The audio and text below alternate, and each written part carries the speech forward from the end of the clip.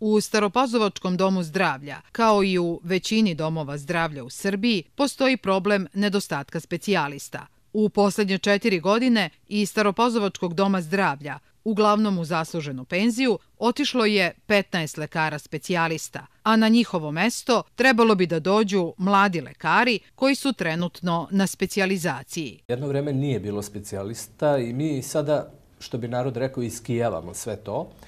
Kada su specijalizacije počele da se dodeljuju, mi smo naravno poslali određen broj specijalista zbog toga što, tačnije specijalizanata, zbog toga što je postojala potreba za edukacijom ljudi koji bi nastavili rad i funkcionisanje određenih službi.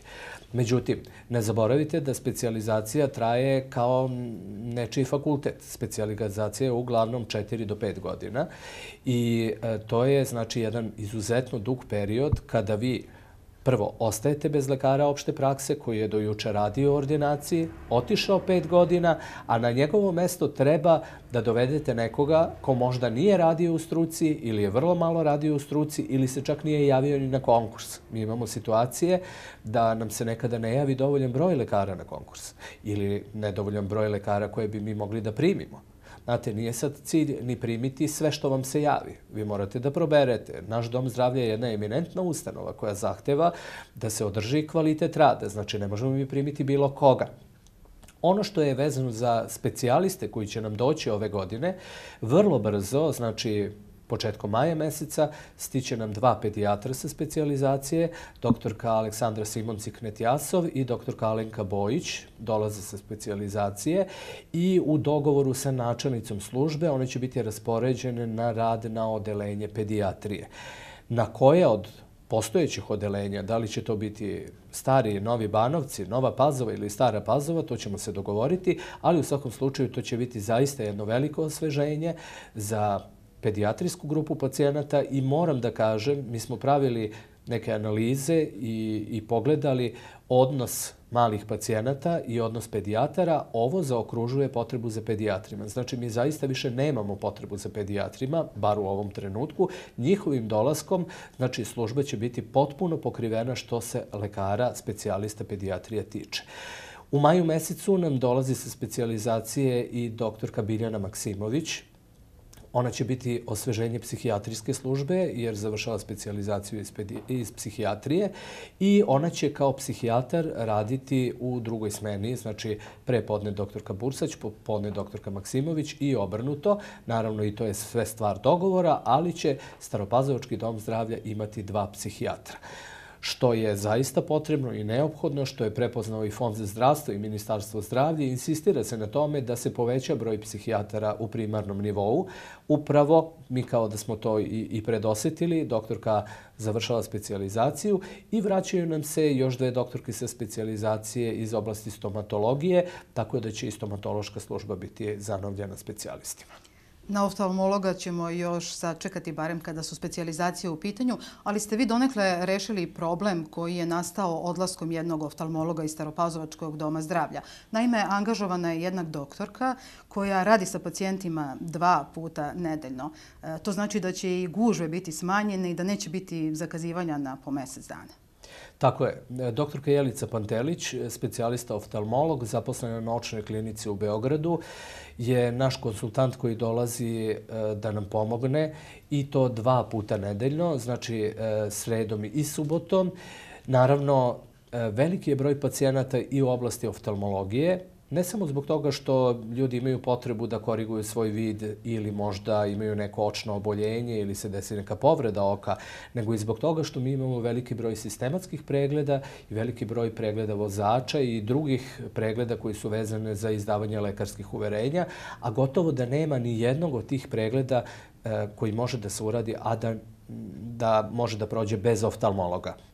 Doktorka eh, Anđić eh, je izuzetno opterećena, žena radi punom parom, što se kaže, ali to ne može da se postigne sa jednim oftalmologom. Kao što ste rekli, kolega je na specijalizaciji, ali njegov povratak eh, se očekuje tek za četiri godine. Prema tome morali smo da pribegnemo još jednoj situaciji, da angažujemo doktorku eh, da dođe i da pripomogne u ovoj situaciji. Posle teške zimske hrane, vašem organizmu će prijati zelena salata. Treba je jesti svakodnevno jer podstiče detoksikaciju. Bogata je folnom kiselinom, mineralima, fosforom, kalcijumom, magnezijumom, gvožđem i bakrom, vitaminima. Samo 2-3 lista salate mogu obezbediti dnevne potrebe vitamina A i K. Kako je bogata vlaknima koja daju osjećaj sitosti, zelena salata se preporučuje svima koji se bore sa suvišnim kilogramima, a pomaže i kod obstipacije. Najkorisnija je sveže ubrana jer stajanjem gubi vitamine i minerale.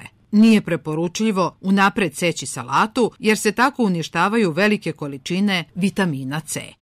Plod pomoranđe je izuzetno ukusan. Sadrži obilje vitamina C, B, provitamin A kao i vitamin E. Od minerala posebnu važnost ima kalcijum koji se lako apsorbuje, ali i magnezijum, kalijum i fosfor. Pomoranđa je bogata i oligoelementima, ali i šećerom koji organizmu obezbeđuju energiju, s tim što vitamin C podpomaže njegovo sagorevanje. Vitamin C pospešuje i apsorpciju gvožđa, pojačava odbrambeni sistem organizma, ubrzava zarastanje rana i pomaže neutralizaciji slobodnih radikala. Međutim, treba voditi račun računa o termolabilnosti vitamina C, što znači da pomoranđu treba jesti svežu, a ne prerađenu. Sok od pomoranče sadrži sve sastojke kao i plod, ali samo ako se brzo popije. To je zato što kiseonik iz vazduha utiče na smanjenje količine vitamina C u soku. Zna se još od davnina da je ovaj sok savršen čistač organizma i dobro sredstvo za pravilno varenje hrane. Osim toga, stručnjaci iz laboratorije Organizacije za naučne istraživanja otkrili su da bar jedna pomoranđa dnevno uneta u organizam može biti uspešna zaštita od pojave nekih oblika karcinoma. Oni tvrde da rizik obolevanja od karcinoma usne duplje, grla, glasnih žica i organa za varenje može biti prepolovljen zahvaljujući ovoj voćki.